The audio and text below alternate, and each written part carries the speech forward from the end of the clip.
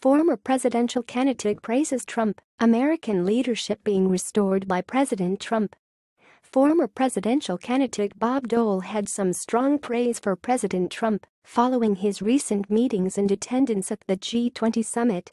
The former Republican senator, Bob Dole praised Trump's performance saying that he showed strong American leadership from the Washington Examiner Bob Dole heaped praise on President Trump for what he described as the restoration of strong American leadership put on display during his trip to Europe over the past few days.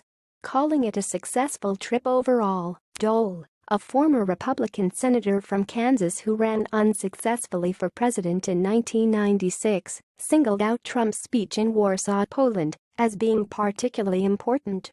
In a statement Saturday, Dole described the speech from Wednesday as one for the ages, a vital, eloquent, and stirring articulation of the values and shared goals that bind us together with the Polish people and with millions of others around the world who seek to live in freedom.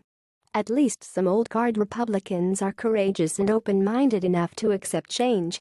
As most of the Republican old guard are still hiding away in their bedrooms, doing nothing but complaining and crying.